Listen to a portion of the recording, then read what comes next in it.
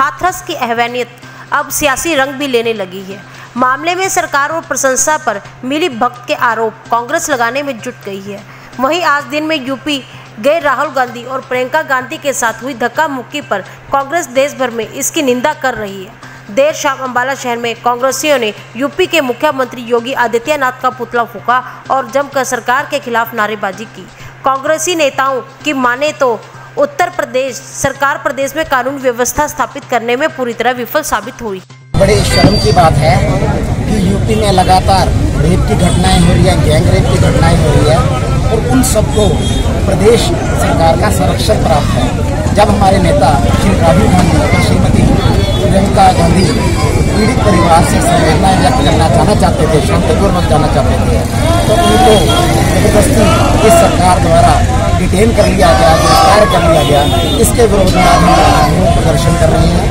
और बड़े शर्म की बात है कि मोदी सरकार तब जागी जब नरेंद्र मोदी जी ने ट्वीट किया। उससे पहले सरकार की तरफ़ से, मोदी योगी सरकार की तरफ़ से कोई भी इस मामले को लेकर अपना कोई भी विचार नहीं रखते थे।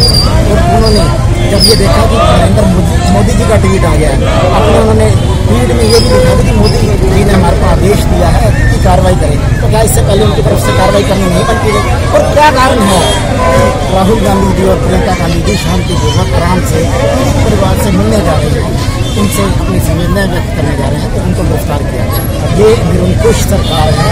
इनको लोगों से कोई लेना देना नहीं, सिर्फ़ अपनी मर्ज़ी चला रहे हैं। चाहे कहीं भी, कोई भी क्षेत्र हो, चाहे हरियाणा की हम बात करें, हमारे किसान भाई, दुखी हैं, सड़कों पर जान लगा के बैठे हैं, लेकिन सरकार की तरफ़ से कहीं के संवेदन मिलता है टोटली और ये लोगों के निरंकुश सरकार है, चाहे हरियाणा सरकार हो, चाहे उत्तर प्रदेश की योगी सरकार हो या केंद्र की मोदी सरकार मैं कहना चाहूँगा उत्तर प्रदेश में निरंतर घट रही घटनाएँ, जो दलित हमारी बेटियाँ हैं, उनके साथ दुष्कर्म की घटनाएँ हो रही हैं। जिस दरिंदगी के साथ, दुष्कर्म के बाद उसके बॉडी के साथ जाति की थी और उसकी उसके बाद डेथ होगी लेकिन हमारे राष्ट्रीय नेतृत्व हमारे पूर्व अध्यक्ष एवं हमारी पार्टी की राष्ट्रीय महामंत्री महासचिव प्रियंका गांधी जी, राहुल गांधी जी दलित परिवार के साथ संवेदना व्यक्त करने जा रहे थे।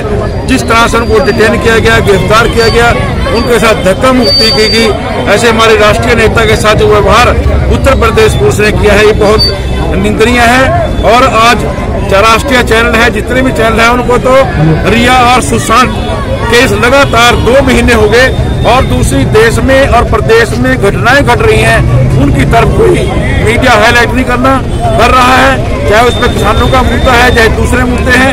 आज मैं ये कहूँगा कि बहुत निंदा आज पूरी कांग्रेस पार्टी, हम यहाँ योगी जी का पुतला जलाएँगे और पूरी इस कांड की निंदा करते हैं। हम पूरी अम्बाड़ा छौनी अम्बाड़ा शहर, कांग्रेस के कार्यकर्ता इकट्ठे होकर के आज इस घटना की बहुत भारी निंदा करते हैं।